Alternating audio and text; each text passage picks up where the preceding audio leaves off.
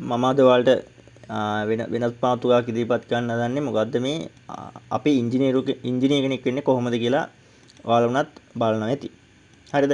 අපිට ක්‍රම කීපයක් තියෙනවා ලංකාවේ ඉංජිනේර කෙනෙක් වෙන්න. හරිද? එතකොට අපිට පුළුවන් සාමාන්‍යයෙන් සාමාන්‍ය ක්‍රමවේදය අනුව කෙලින්ම උසස් පෙළට විද්‍යාව විද්‍යා විෂය ධාරාව යටතේ ගණිතය රසායන විද්‍යාව භෞතික විද්‍යාව හදලා හදාarලා අපිට උසස් පෙළට පෙනී සිටිනවා. පෙනී සිටලා අපිට ඒකේ රිසල්ට් එක මත Z ස්කෝර් එකක් ලබා දෙනවා. ඒ Z ස්කෝර් එක අනුව අපිට විශ්වවිද්‍යාල ලැබෙනවා. සාමාන්‍යයෙන් මොරටුව, පේරාදෙණිය, ඒකම රුහුණ, ඒකම යාපනයේ ජැෆ්නා වශයෙන් අපිට ඉංජිනේරින් යන්න අවස්ථාව ලැබෙනවා. ඒකිනුත් සෙට් එකකට Z ස්කෝර් අඩු වෙනවා. ඒ අඩු වෙන කට්ටියට පුළුවන් සයන්ස් පැත්තෙන් කැම්පස් යන්න. උපාධිධාරිය උපාධිධාරියෙක් වීම සඳහා. එතකොට අපිට තව ක්‍රමයක් තියෙනවා නිදහස් අධ්‍යාපනය යටතේ. ඔයාලා ගොඩක් අමතක කරන්න මේ ගොඩක් අය දන්නේ නිදහස් අධ්‍යාපනය යටතේ අපිට ක්‍රම තව කීපයක් තියෙනවා. ඒකක් තමයි ඉංජිනේර කෙනෙක් වෙන්න අපිට NDT එකට යන්න පුළුවන්. NDT NDT National Diploma in Technology ආයේ HND High National High National Diploma in Engineering HND High National Diploma Engineering විතරක් නෙමෙයි තවත් කෝසස් තියෙනවා. ඒ කියන්නේ එයාලගේ accounting තියෙනවා, ඒ parallel degree level දෙනවා. ඒ අනුව එක එක තව කෝසස් තියෙනවා. ඒ කියන්නේ ස්ලේට් ආයතනයේ තමන් ඒක පරිපාලනය කරන්නේ. ඊළඟට තියෙනවා TTI TTI කටුනායක තියෙනවා. ඒ TTI ආයතනයේ මගිනුත් සහකාර ඉංජිනේරුවෙක් වශයෙන් හා සාමාන්‍යයෙන් ඩිග්‍රියක් කරොත් අපිට උපාධිධාරියෙක් වෙන ප්‍රයිවට් ඩිග්‍රියක් කරොත් ඉංජිනේරු වර්ෂයක් සේවය කරන්න පුළුවන් හොඳ පිළිගැනීමක් තියෙන කෝසස් තුනක්. හරි. එතකොට දැන් මෙතන අපිට මේ තුනම හම්බෙන්නේ නිදහස් අධ්‍යාපනය යටතේ. නිදහස් අධ්‍යාපනය යටතේ. අමතක කරන්න එපා. අපිට මුදුමුදල් යන්නේ නැහැ. මහ පොළ දීමනාවක් දෙනවා. මෙතන මේ HND කියන එක නම් මම දැනුවත්ව අනිත් දෙක මම කොහොමද දන්නේ ඔයාලා කමෙන්ට් කරන්න තව කට්ටිය දැනගන්න ඕන නම්. හරි. එතකොට මේක අධ්‍යාපන අමාත්‍යාංශය දැන් මම මේ දවස්වල සුභාරංචිය තමයි HND මේ දවස්වල ගැසට් කරලා තියෙන්නේ. ස්ලේට් ආයතනයේ මගින්. ඉක්මනින්ම ඇප්ලයි කරන්න. අධ්‍යාපන අමාත්‍යාංශයේ යටතේ තමයි තියෙන්නේ. උසස් අධ්‍යාපන අමාත්‍යාංශයේ යටතේ. එතකොට ඒකේ උසස් තාක්ෂණ ආයතනයේ ස්ලේට් එක මේ 2023 2024 අධ්‍යයන වර්ෂ සඳහා උසස් තාක්ෂණ ආයතන සිසුන් බඳවා ගැනීම. විස්සයි විසිය දෙක වර්ෂය හෝ ඊට පෙර උසස් පෙළ සාර්ථක ඔයාලා කරලා තියෙනවා නම් මේකේ HND කියන කෝසස් ඔක්කොටම දාලා තියෙනවා. ඒ කියන්නේ ඉලෙක්ට්‍රිකල් HND ඉලෙක්ට්‍රිකල් විතරක් නෙමෙයි සිවිල් එතකොට බිල්ඩින් සර්විසස් ඇන් ඕනම එකකට දැන් ඇප්ලයි කරන්න පුළුවන්. ඒකම එයාට පුළුවන් accounting ඉංග්‍රීසි හා අනිකුත් පාඨමාලා වලටත් මෙයාලා මේ දවස්වල බඳවා ගැනීමේ කටයුතු සිද්ධ කරනවා. හරිද? එතකොට අපි බලමු මේ ආයුධුම් කරන පිළිවෙල.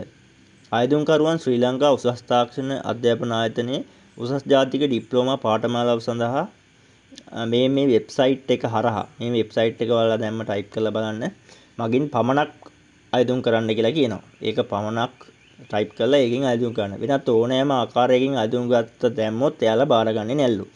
ආයුධුම්කරුවන් අන්තර්ජාත අන්තර්ජාලය හරහා උසස් තාක්ෂණ ඩිප්ලෝමා පාඨමාලා සඳහා ආයුධුම් කිරීමේදී මෙම අන්තර්ජාලය හරහා තෝරාගත් උසස් ජාතික ඩිප්ලෝමා පාඨමාලා සඳහා ලියාපදිංචි වීමේදී ඇතුළත් වීමේ මාර්ගෝපදේශය කියවා තේරුම් ගත යුතු අතර නීති රීති මාලාවත් පිළිපදින්න කියලා කියනවා. ඇතුළත් වීමේදී මාර්ගෝපදේශය මාර්ගත අයදුම්පත්තේ සමග ලබා ගත හැක. හරිද? හරි. මෙයාලා මේක කොටස් දෙකකට කන්නවා කාණ්ඩ දෙකකට ඉසට් ලකුණු මත ස්ලේට් අධ්‍යයන පාඨමාලා කොටස් දෙකක් තියෙනවා. මේ ස්ලේට් එකේ ඉංජිනේරින් මම කියන්නේ ඉංජිනේරින් මම කතා කරන්නේ. ඉංජිනේරින් තියෙන්නේ මේ ටික mechanical, civil, HND electrical and electronics, QS quantity servers. මං හිතන විදිහට quantity serversලා සාමාන්‍යයෙන් තියෙන එකම කෝස් එක තියෙන HND විතරයි, HND QS විතරයි.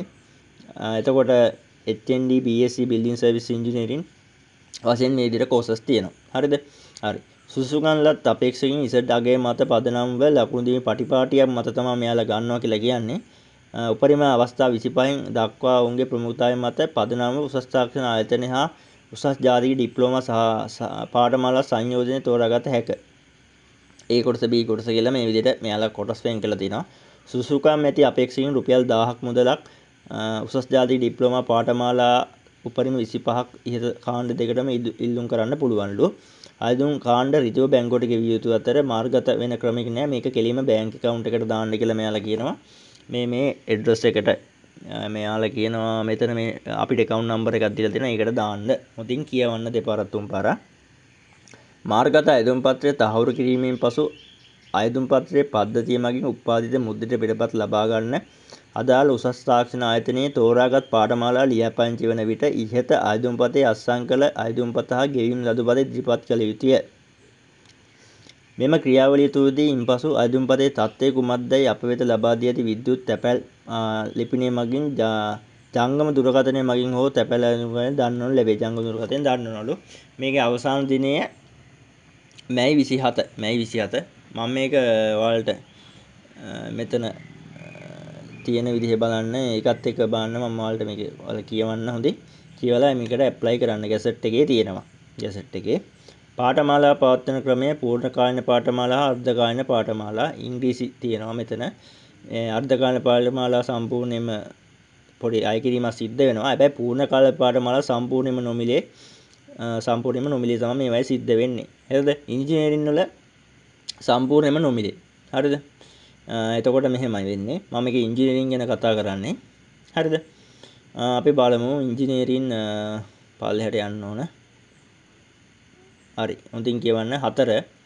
උසස් අධ්‍යාපන ඉංජිනේරු ඩිප්ලෝමාව සිවිල් අවුරුදු 3මාරකට කෝස් එකට ගන්නේ. උසස් ජාතික ඉංජිනේරු ඩිප්ලෝමා විද්‍යුත් හා විදුලි හා විද්‍යුත් වලට අවුරුදු 3මාරක් HND ඉලෙක්ට්‍රොනික ඇන්ඩ් ඉලෙක්ට්‍රිකල් උසස් අධ්‍යයන ඩිප්ලෝමාව මැකනිකල් වලට අවුරුදු 3මාරක්. එතකොට ඩිප්ලෝමා QS වලට ගන්නවා අවුරුදු 2මාරකට. බිල්ඩින් සර්විස් වලට අවුරුදු 3මාරක්. ආයතන කරන විසින් පාත සඳහා සුසුකම් සපුරා කළ යුතුය. භෞතික විද්‍යා විශේෂ ධාරාවෙන් එකවර අපොසුසක් පෙළ සමත් වෙලා ඉන්න ඕනලු. මේ රසායන විද්‍යා භෞතික විද්‍යා සංයුක්ත ගණිතය සහ අපොස විෂයන් සඳහා සාමාන්‍ය සාමර්ථ්‍යයක් ලබා තිබිය යුතුය. හරිද? සාමාන්‍ය සාමර්ථ්‍ය ඉංග්‍රීසි හා ගණිතයේ සාමාන්‍ය සාමර්ථ්‍යය අනිවාර්යෙන් පාස් වෙලා තියෙන්න ඕනේ. උසස් ජාතික ඉංග්‍රීසි ඩිප්ලෝමා පාඨමාලාව HN ඉංග්‍රීසි අවුරුදු දෙකමාරයි මේ විදිහට ඔයාලට කෝසස් තියෙනවා තෝරාගන්න. එතකොට දැන් ඔයා ඉංජිනේරින් වෙන කෙනෙක් වෙන්න බලාපොරොත්තු වෙන නම් ඒ ඉංජිනේරින් කෝස් එක්කම ඉදිරියට යන්න පුළුවන්. ඒ එක්කම ඇග්‍රිකල්චර් තියෙනවා මෙයාලගේ. ඒ විදිහට ගොඩක් කෝසස් තියෙනවා. දැන් මෙතන අපිට මෙතන බැලුවොත් මේ chart එකේ තියෙනවා ලංකාවේ උසස් අධ්‍යාපන ආයතන කොහෙද තියෙන්නේ කියලා පිළිහිట్లా තියෙන්නේ. ඔයාලා කේවල් කිට්ටු වෙන්නත් පුළුවන්. මෙතන ආයතන 19ක් පෙන්නනවා. මේක 19 ඉංජිනේරින් තියෙන්නේ ආයතන 3ක විතරයි. හරිද? ඒකේ තුන තමයි එක කොළඹ තියෙනවා. කොළඹ උසස් ජාතික කොළඹ මෙතන තියෙනවා මේ කොළඹ. හරිද? කොළඹ එකේ තියෙනවා. ඊළඟ එකේ තියෙනවා ඉංජිනේරින් විතරයි. එතකොට කොළඹ තියෙනවා ආයේ ගාල්ලේ තියෙනවා ඉංජිනේරින්. ආයෙ තියෙනවා ජැෆ්නා යාපනයේ. යාපනයේත් තියෙනවා. ඔව් මේ තුනට තමයි ඉංජිනේරින් කරන වෙනෙක් වෙනවා නම් බලාපොරොත්තු වෙන ඇප්ලයි කරන්න පුළුවන්. මේක රජයේ රැකියාවලට අපිට කෙලින්ම යන්න පුළුවන්.